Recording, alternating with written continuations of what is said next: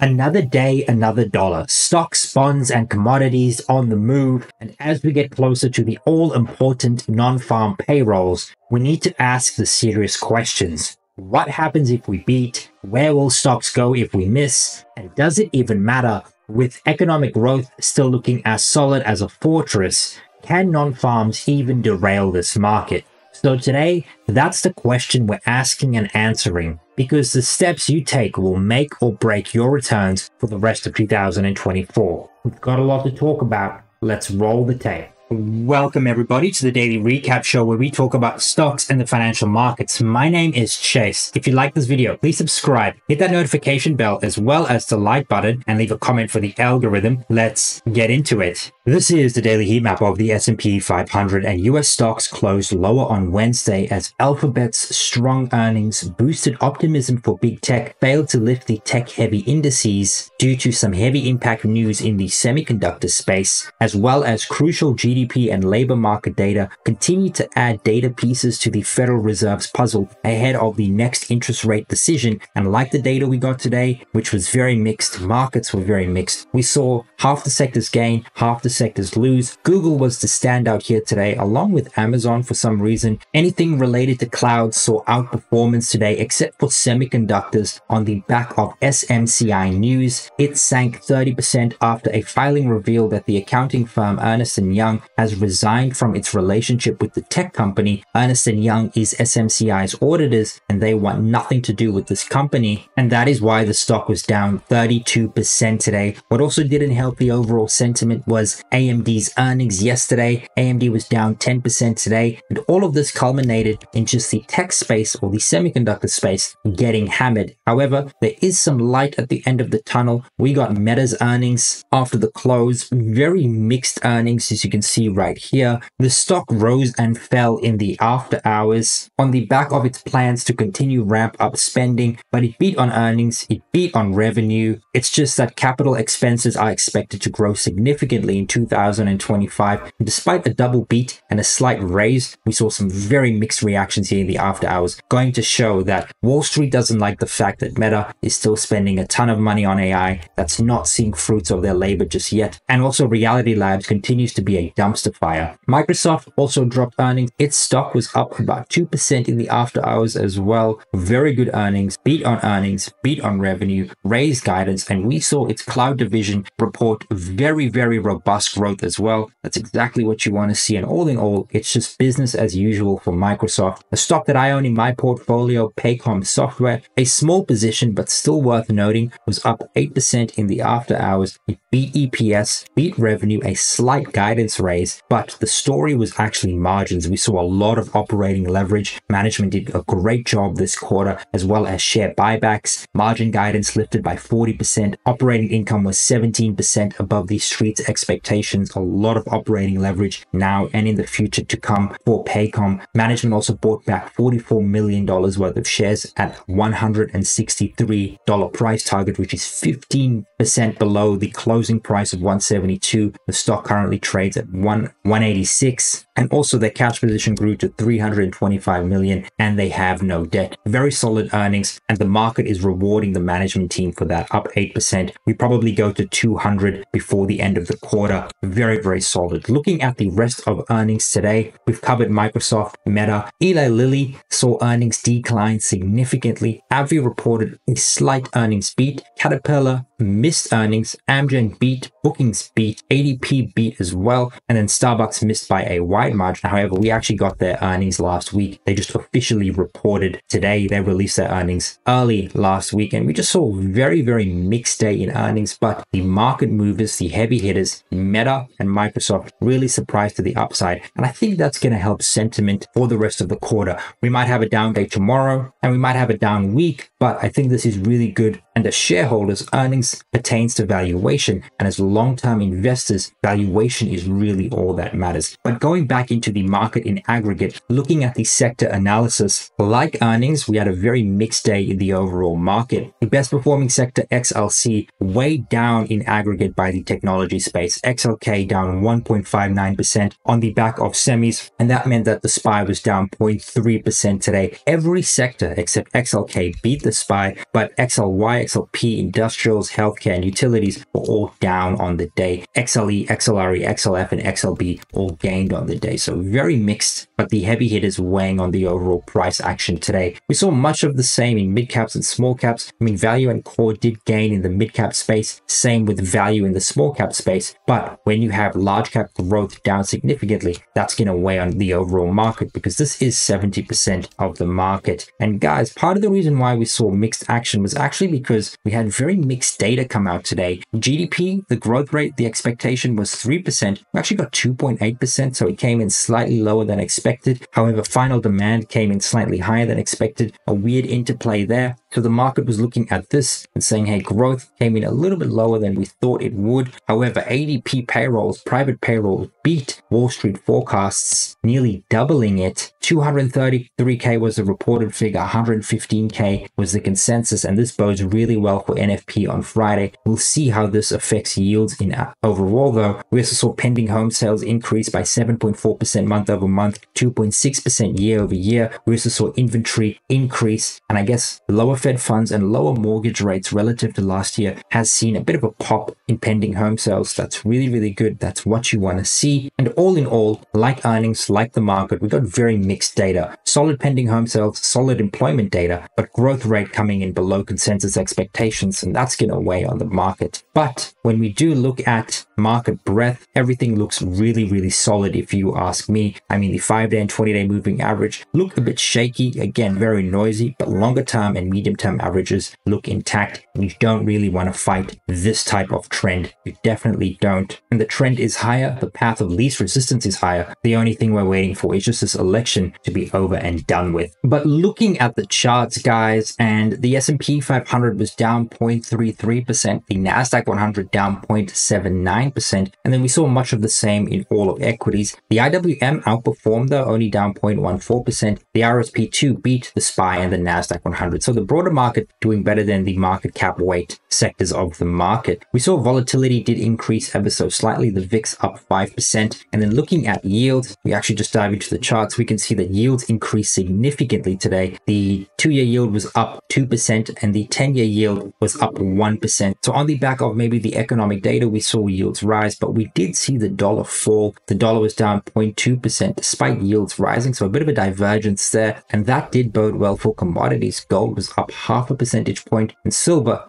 giving some back crude up 2%. All in all, a very, very mixed day. The only real winner today was just gold as well as maybe short sellers. We're also seeing some very ugly action here in the after hours, probably on the back of Meta's spending as well as semiconductors. The Qs are down 0.36%, SPY down 0.23%, but the IWM showing a little bit of outperformance relatively speaking. And looking at the S&P 500, again, not much has changed. I'm just going to go over this very, very quickly. We are in positive gamma and any dips we do get to the 5070 to the 5775 area you want to buy. Guys, the SPY is like coiling up looking for its next move to the upside or downside. I think that's going to come after the election. The NASDAQ 100 still at these all-time highs, just below these all-time highs, trading right here. I mean, a good meta report probably meant we go higher, but that is probably not going to be the case, especially considering sentiment looking a bit damp in the after hours. That being said, we are in positive gamma and you do want to buy dip, sell rips, especially if we get to the 20,200 area and the gamma flip zone holds. Looking at the RTY, officially back in negative gamma, we've been trading above and below the 2240 level for this week. Do take into consideration that when it comes to the IWM, this actually did move up from Monday and look at this huge wick here. So this means we did get buys, especially in the early trade. And looking at the one day chart or the one minute chart, we saw a huge move on the open. This was probably on the back of the data we got, as well as some of the earnings we got pre-market. However, bears came in and took us lower and we were actually down on the day. Nonetheless, this is a very, very strong conviction buying. It's just that the bears were even stronger from these highs and very, very consistent lower lows, lower highs here in the IWM. And that was mostly on the back of yields. Yields were up significantly. Looking at gold, that's another new all-time just below the 2800 level. I expect to see $3,000 gold in the first or second quarter of 2025. So I do think we're going to continue seeing upward momentum in gold and any dips we do get, you want to buy those because gold is looking very, very strong. And I do think that based on the current macro environment, the election, the geopolitical concern, as well as monetary policy, I do think gold will go higher. There's a ton of tailwinds for gold to move higher, as well as commodities in general. Maybe precious metals, not so much crude. All in all, guys, we've seen some very ugly price action this earnings season, but it's not just earnings, it's the economic data. We also have some market impact, heavy hitting news that only pertains to one semiconductor, but it affects overall sentiment in aggregate. And we just have to get past this volatile period, get past the election.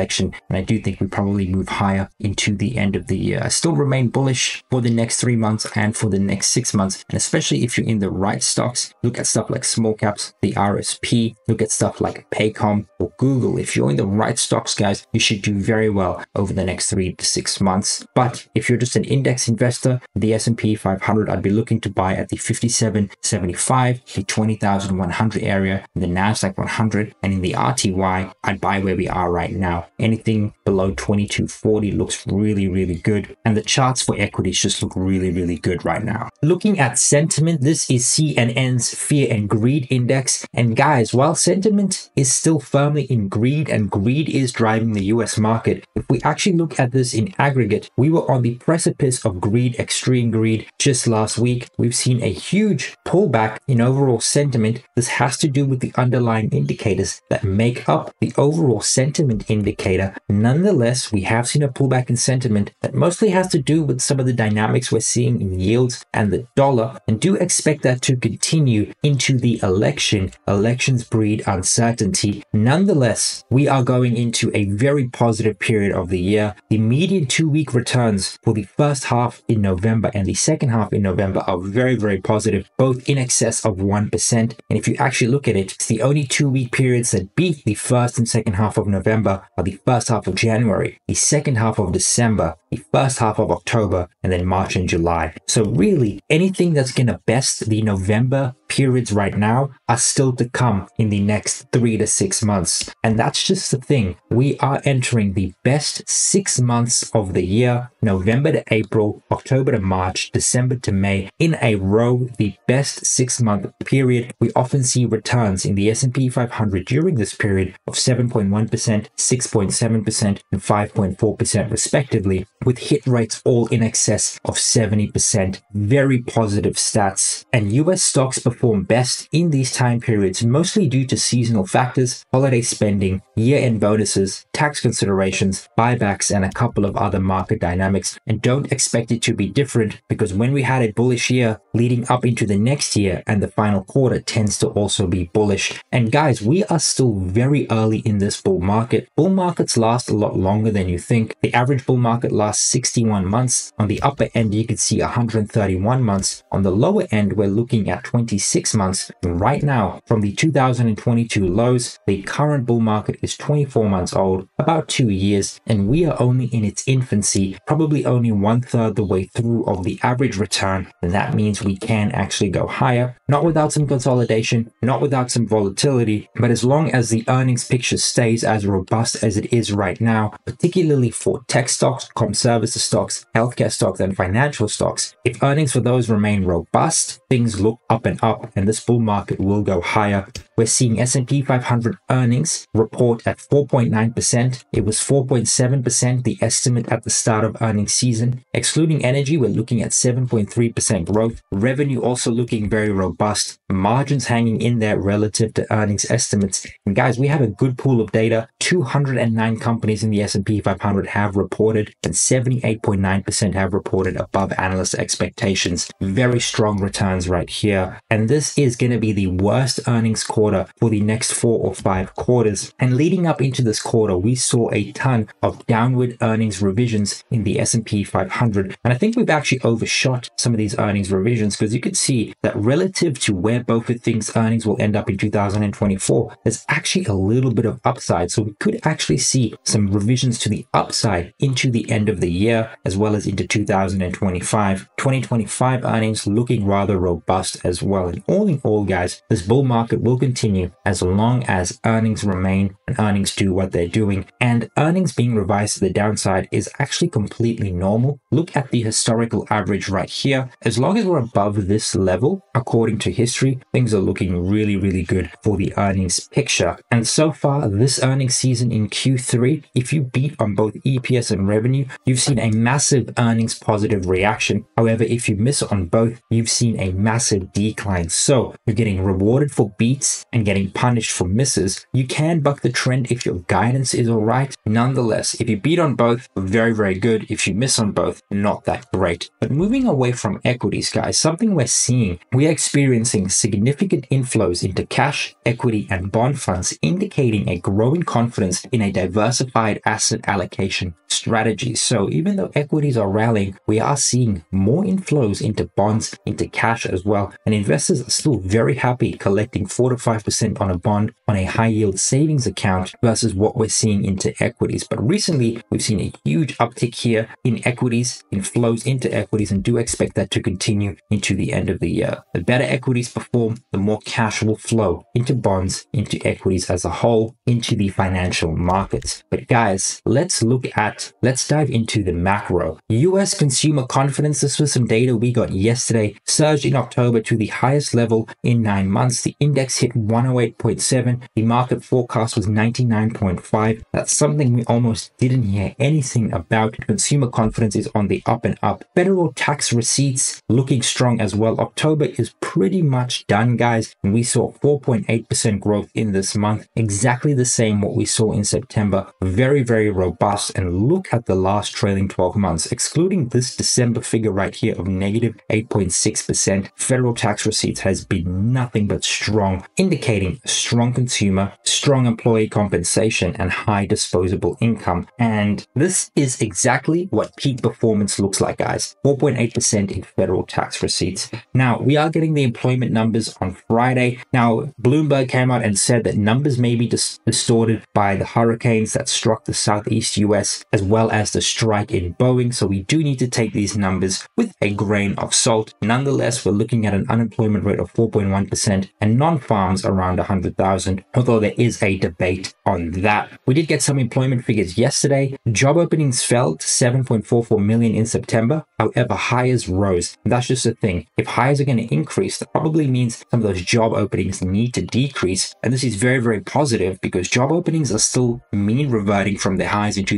2021 and hires are starting to see a rebound, especially in the last couple of months. That's exactly what you want to see in this type of data set. Although if job openings can actually see a bit of a rebound, we would also welcome that. Looking at earnings for the rest of the week, guys, we had a crazy week so far, and it's only going to get crazier. Tomorrow, Thursday, we have Uber, Peloton, Merck, ConocoPhillips, SiriusXM, MasterCard, Estee Lauder, Kellanova, Altria Group, just a star-studded open. And then after the close, we have the two big juggernauts, Amazon, Apple, Intel as well, Atlassian, and that's really it. There's still a huge week left in earnings, also on Friday, Thursday, and we had a big week today. Earnings is looking very, very good. Data for the rest of the week, guys. The big things we're going to focus on now is personal income expenditures and then the non-farms and the unemployment rate. The non-farms expectation is 140, that's the consensus. Trading economics say 180k. Goldman is saying 95,000. The consensus is for a 4.1% unemployment rate and then personal income and personal spending. So like personal income outlays or just like wage inflation to come anywhere between 0.2 and 0.4% respectively month over month for income and spending. However, if you've made it up until here, thank you so much for watching. If you like this video, please subscribe, hit the notification bell as well as the like button and leave a comment for the algorithm. Cheers.